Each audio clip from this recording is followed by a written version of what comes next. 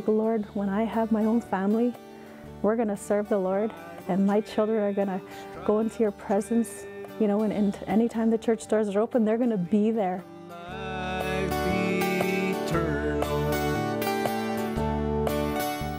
Welcome to Tribal Trails. I'd like to introduce to you Pat and Sylvia Edwards from Timmins, Ontario.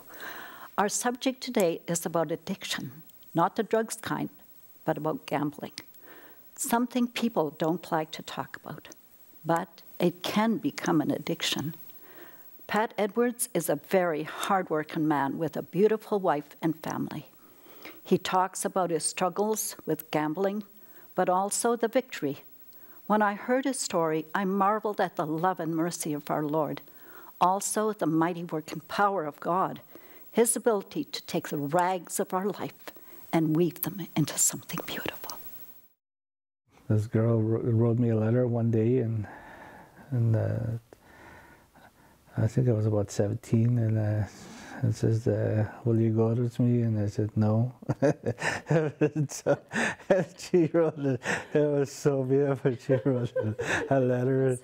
Yeah, and uh, I was 14. Oh, she was 14. Yeah. I think I must have been about 16 and uh, I said... This was after the fire and after you'd lost everything yeah, and you were, so said, no, started I, gambling. I told her no.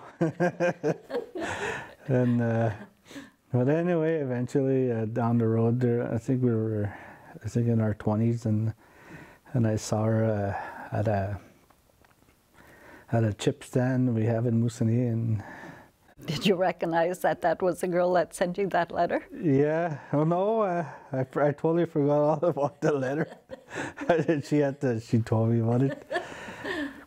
then anyway, I met her at the at the chip stand, and I was intoxicated, and uh, my lips were all red from drinking. Yeah, from drinking, and uh, and I told her something, and she got all mad. She says, and she said, "Who does who who does he think he is? You know, a God a God gifted woman or something? God's gifted God gifted God gifted woman or something." that was on a Sunday. I think we just had church that morning, and we wanted to get lunch. Me and my friend, this other girl, and and I went to go pay for the for the fries, yeah. make the order, and then he's there and he's standing there, and I. And Did you know it was him you wrote that letter yeah, to? Yeah, I remembered him, and I, he goes, "Oh, you're looking good today, Sylvia," and I'm like. I just didn't say anything to him or acknowledge. I just hopped back in the car and I told my friend, "You go get the fries when they're ready. I'm not going back out there." He's he said this to me, and I was really mad, and there was nobody around. I don't know why I was. Uh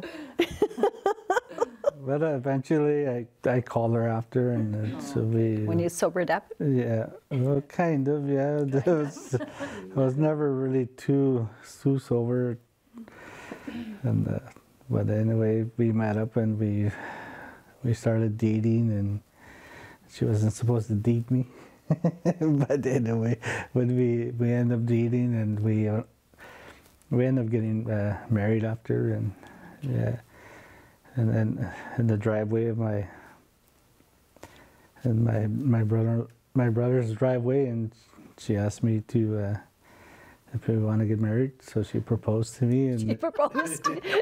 she sought you and proposed to you. he really loves that. Eh? Tells everybody Bring, this. Brings that up all the yeah, time. Yeah, yeah. yeah. So. It wasn't an official proposal. It was like. Yeah. Do you want to get married? Uh, okay, let's get married. Yeah, I guess so. it was like, you know, do you want to go to the movies tomorrow? It was.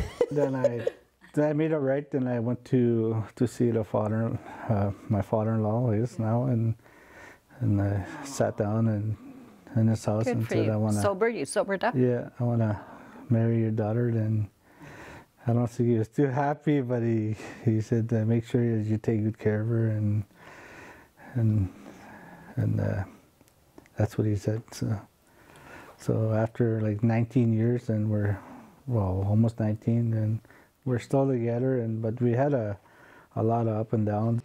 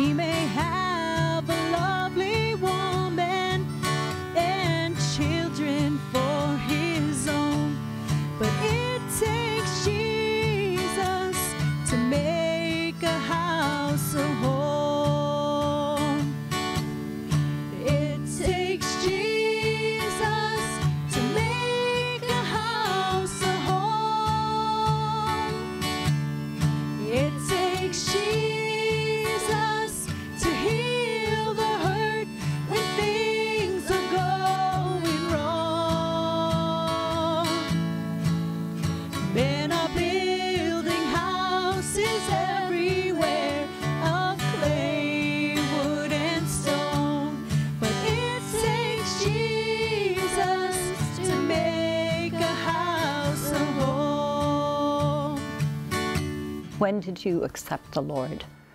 I, I accepted the Lord in 2001 After you got married after, or while you were dating?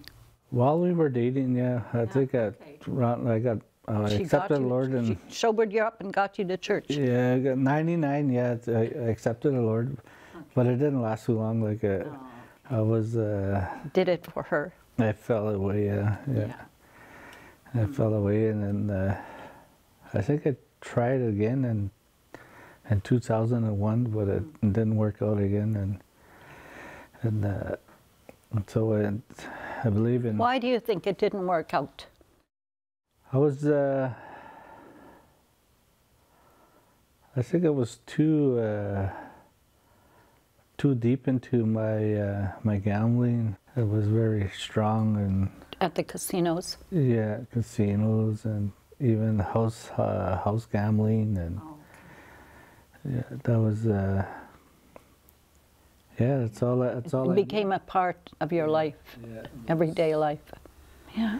it was uh, it was something that that was uh, I don't know, I'd say good at it, but I, I understand every every rule. And uh, 2011, that's when I uh, like I hit rock bottom. Like I was uh, I was in, just so deep into everything, and eventually. Uh, Just controlling your life. Yeah, it was like loss and there was the, the drugs and the, the alcohol and and, and the gambling and the, and the, and the job. I had a I was working at a at a mine too, and I was and, and I lost my job and and I had mostly all my jobs that I that I had. I tried to work and didn't work out. Then one year I hit I hit a rock bottom and and I was incarcerated. The best of plans and good intentions don't always work for different reasons. Reality sets in, and we are left to embrace our struggles. Paul says in Ephesians, Be strong in the Lord and in his mighty power. Our struggles will either draw us closer to the Lord or drown us. We give up and walk away. Walk away, not a good option. I'd like to encourage you to trust the Lord. Nothing will be gained by walking away. The God of all creation is walking beside you to help you through the valley, and He does not fail.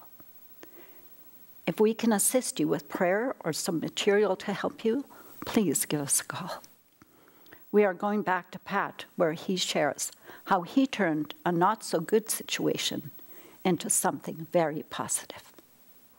Took me nine months to uh, get acquitted, and Oh, okay, okay. then uh, but I, but during the time that I was there, uh, and, and I ex- well I accepted the Lord uh, in jail and for for the whole nine months I was uh, like reading the Bible and studying and doing all that and And away from gambling, so and that away was from that was good in a way. Yeah, and Yeah. There was days in the, in jail where I had to uh, had to say, "Lord, forgive me." About a hundred times, uh, my mind was just going crazy, and then one day I just realized, uh, I asked the Lord, "Did I sin today?"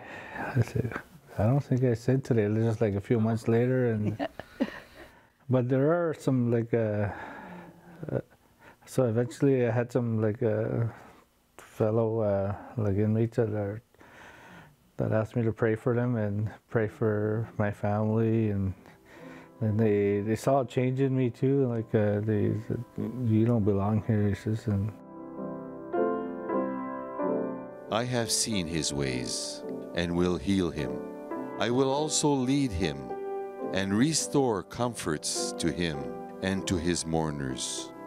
I create the fruit of the lips. Peace, peace to him who is far off and to him who is near, says the Lord, and I will heal him.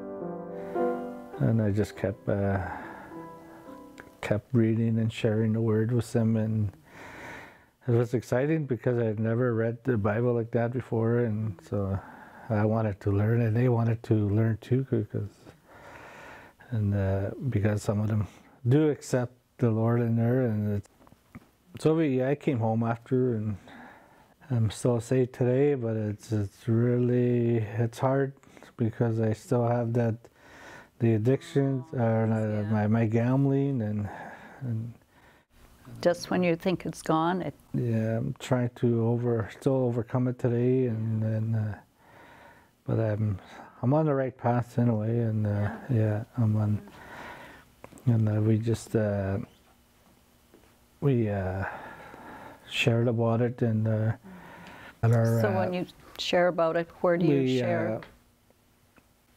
on our reserve and one day and I said I can because they were having uh what do you call that anyway uh, where they had uh like for for gambling for drug and alcohol and I Addictions? said yeah addictions one day and I said uh, I can share a story I said Yeah. about uh, about my gambling I said and from there I, I, I shared about my life and how did it affect uh, the home and, and the people around me and and myself and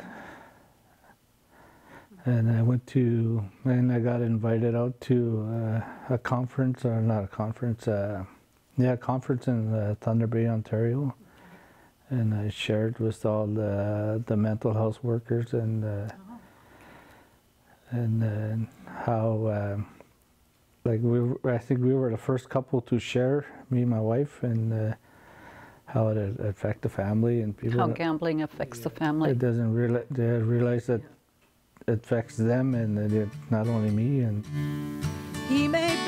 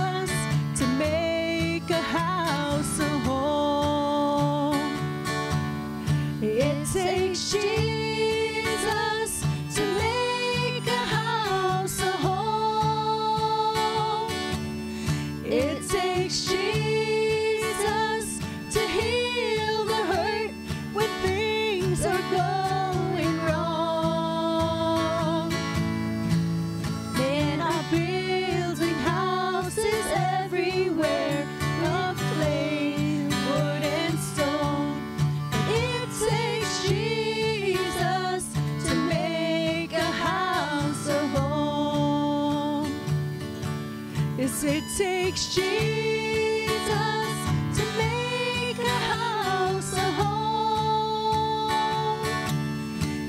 takes Jesus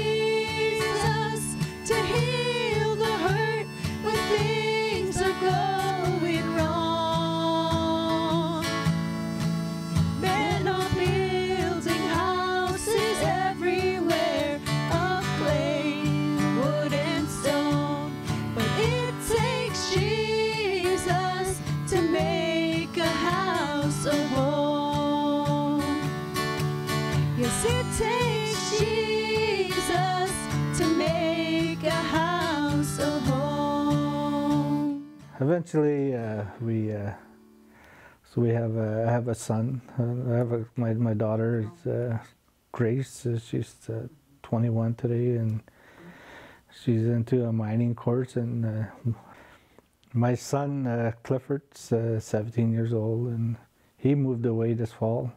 He's playing he's playing hockey in uh, about 12 and Okay. And uh, he keeps an eye on me when we're riding around on the, on the truck and and uh, when I listen to CBC and uh, CBC News and uh, uh, some songs will come on, he change it right away. You're not listening to that, he would say. So he keeps an eye on me like he's still uh, like any any rock and roll music that comes on, he always shut it off right away. He, it- like his heart is. Uh, is still serving the Lord, even though he he's still like uh, it's in him, I guess. And yeah, and our daughter uh, Ava, and she's uh, 13, and she likes to sing. I see their faces, look in their innocent eyes. They're just children from the outside.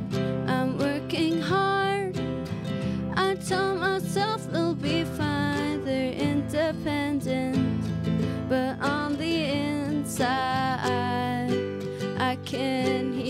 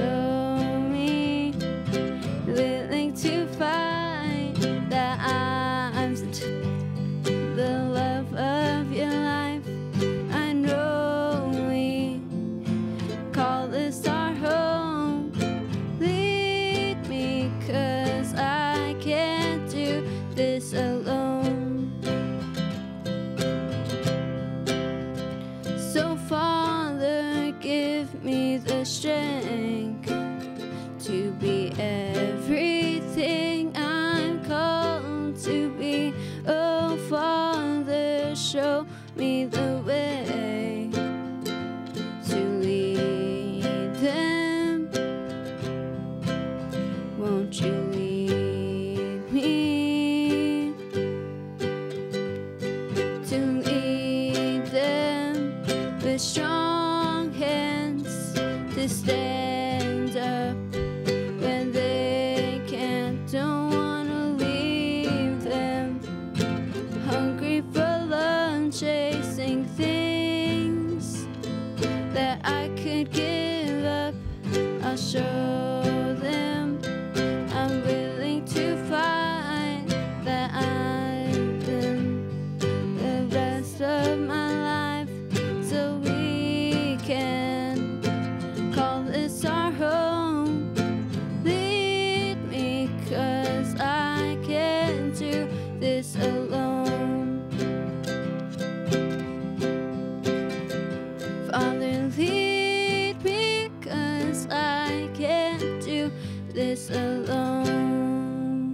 2014, I was working on a on a business uh, business uh, a business plan.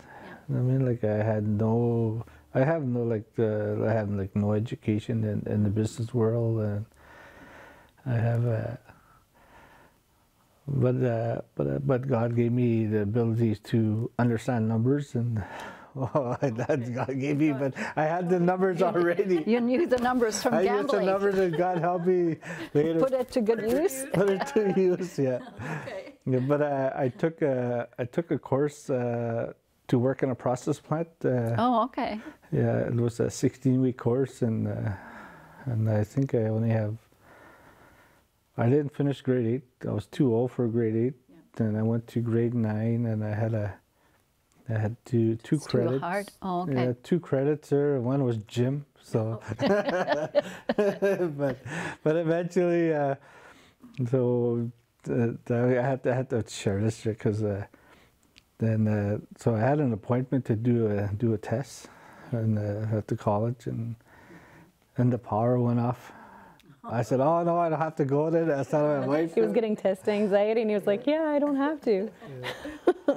Then uh, she says, "Oh, the power's back on. You, you still have time." And so I went and and I went to go challenge the test and to see if I can get accepted. I needed like a grade ten math, and I ended up uh, almost having like a like a, like eleven point five or Oh, yeah. yeah almost a grade twelve math, and and I passed the course, and uh, yeah, so I have that to fall back to. The well, actually, I'm, I am applying for a job now to work in one of the mines. He who has pity on the poor lends to the Lord, and he will pay back what he has given.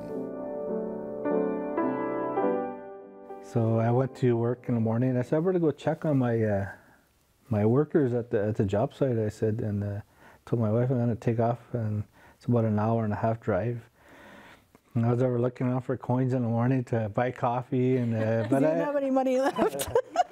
But uh, so I went to a job site, and they said, "Oh, Pat," he says, uh, "I walked by one of the office, and he says, uh, Pat, uh, you're just in time. We're gonna we're looking all over for you, or we're gonna call you." He says, uh, "We got some good news for you." He says, uh, "We're gonna give you a, a contract." He says, "It's gonna be till the project's done." So the others are like another year we and a got half blessed the next morning. Yeah. another year and a half, and so we were. Uh, so uh, I got blessed, and and uh, God's been good to you. It's better than gambling. yeah, good. Yeah, making yeah. more money than gambling. Uh, yeah, God's been good to me, and uh, but uh, as a as a business, uh, let's call it uh, owner, and I'm still learning today how to uh, budget and all that, and it's uh, very. Uh, it's a learning experience for me, and what not to do and what to do, and Now it shall come to pass, if you diligently obey the voice of the Lord your God, to observe carefully all his commandments which I command you today, that the Lord your God will set you high above all nations of the earth. And all these blessings shall come upon you and overtake you, because you obey the voice of the Lord your God. But the, the main thing for me was to be honest in any way and be uh, and let them know who I am and that I that I uh, that I that I am a Christian and, and that I I serve. Uh, so my workers uh, do have respect for me when I when I went to the job site and they. They would uh, sometimes swear and they said, "Oh, we're sorry." And I mean, like they, they knew and and uh, and uh, I noticed uh, my my friends too. Like uh, when I when I when I got saved, like I couldn't couldn't be around with them for I wasn't like strong enough to hang around with them. And uh, I guess one thing that as a new believer that we have to keep our distance from people that are not not serving the Lord until we're strong. What Because we can fall right back into it. And, uh, yes, it's easy, and, uh, especially in gambling. It's a strong, strong. Um, So for a couple of years, I I didn't didn't hang around with my the friends that I, I grew up with, and eventually I went back and I went to go to talk to them, and they they noticed a change, and and they they had a lot of respect for me after, and the commitment that I had. But it uh, it's still a struggle. I'm not gonna. life is life, right? Yeah, I, I do. I, I did. I, I fell a few times, and uh, but the thing is that, that I got back up. And I mean, like, and then there's times where I don't want to get back up, but you know, because I fell so deep again. And, but I got back up, and uh, because uh, at the end, at the end of the day, that like, if I'm not right with the Lord, and, uh, I mean, I know where where I'm gonna go, and and this is why I always want to. I, I, when I pray, I, when I go to bed, I pray, and regardless of what kind of day I had, and and that if I ever was to pass away in my sleep, and that I had that that peace and where I can, yeah. Is it harder when you have lots of money? Yeah, it was. Uh, in a way, I, like I like because I had so much money and that, that gambling, uh, it really came back to me again, and uh, and I did go gamble, and I, I felt so bad again, but uh, it was just like.